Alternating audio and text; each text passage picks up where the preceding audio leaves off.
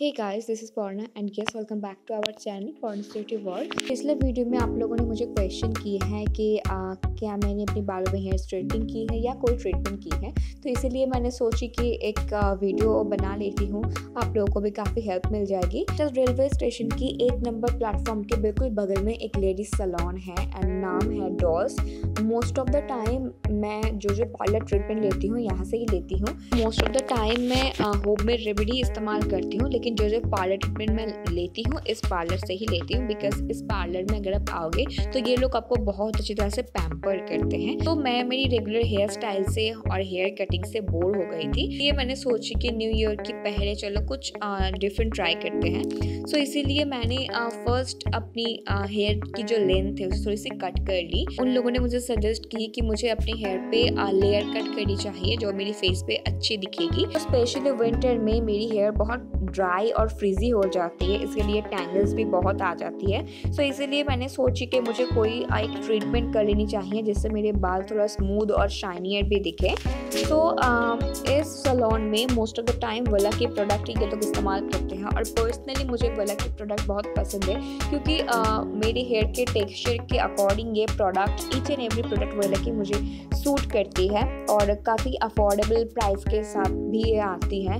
आप जब कोई भी ट्रीटमेंट करवाओगे, उसके बाद आपको जो प्रोडक्ट यूज़ करनी है नॉर्मली वो बहुत एक्सपेंसिव होती है, लेकिन वाला आप इजीली अफोर्ड कर सकते हो। नॉर्मली जब आप कोई भी केमिकल ट्रीटमेंट करवाते हो, आपकी हेयर डैमेज होती है, लेकिन इस ट्रीटमेंट में ये लोग यहाँ पे लेग्स यूज़ कर रहे हैं। इसके लिए आपकी हेयर उतनी डैमेज नहीं होगी। Guys I will like to share that four years पहले मैंने हेयर स्ट्रेटनिंग की थी सिटी सेंटर टू की एक सलोन से। लेकिन उसके बाद मुझे जब बहुत ही हेयर फॉल हो रही थी, तब इस सलोन में आके मैंने दिखाई इन लोगों को। तो इन लोगों ने कही कि बहुत ओवर हीट की वजह से ये हुई है।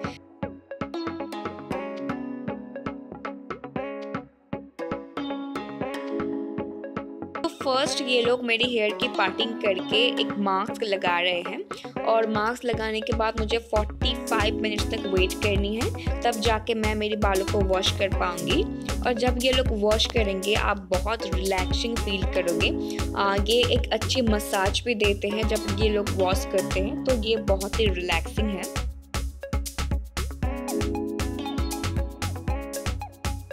के बाद और एक मास्क देन वॉश करने के बाद फाइनली एक स्ट्रेटेड की वजह से ये लोग आपके हेयर को अच्छी तरह से स्मूथली स्ट्रेट करेंगे। ये बहुत ही एक टाइम टेकिंग प्रोसेस है। सो so, इस टाइम में आपको बहुत ही बोरिंग फील होगी। तो मैं बिज़ी थी मेरी इंस्टा स्टोरी देने में।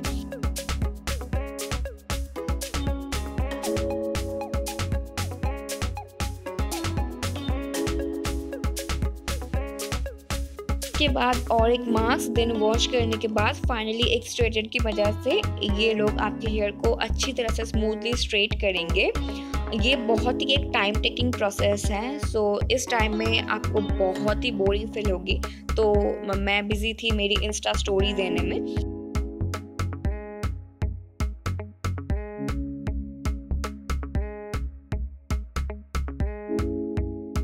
गाइस ये जो फुल प्रोसेस है नियर अबाउट फोर आवर्स आपको लग जाएगी। सो आप टाइम लेके ही पार्लर में जाए।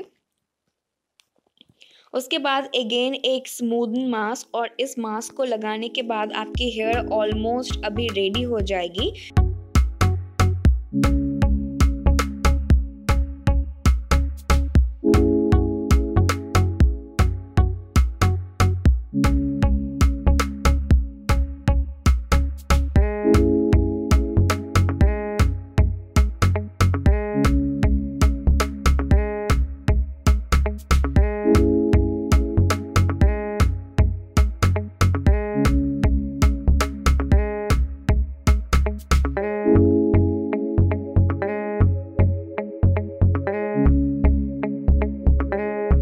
सो so, नाउ आप देख पा रहे हो कि मेरी हेयर काफ़ी स्ट्रेट और हो गई है अभी।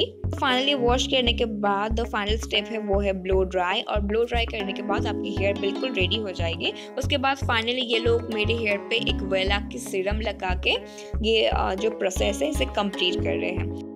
आफ्टर दिस ट्रीटमेंट मेरी हेयर अभी काफ़ी शाइनियर और स्मूथ हो गई है और ये जो स्मूथिंग ट्रीटमेंट है ये नियर अबाउट टू ईयर्स अगर आप प्रॉपरली मेंटेन करोगे तो टू ईयर्स आराम से ये स्टे करेगी। तो अगर वीडियो आपको पसंद आए प्लीज़ एक बार लाइक बटन को हिट कर दीजिएगा।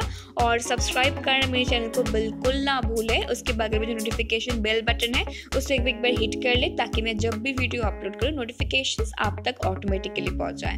एंड येस गाइज़ प्लीज़ आपके फ्रेंड्स के साथ सोशल मीडिया में शेयर ज़रूर करें। तो yes guys thank you so much for watching see you soon at my next video till then bye and take care of yourself bye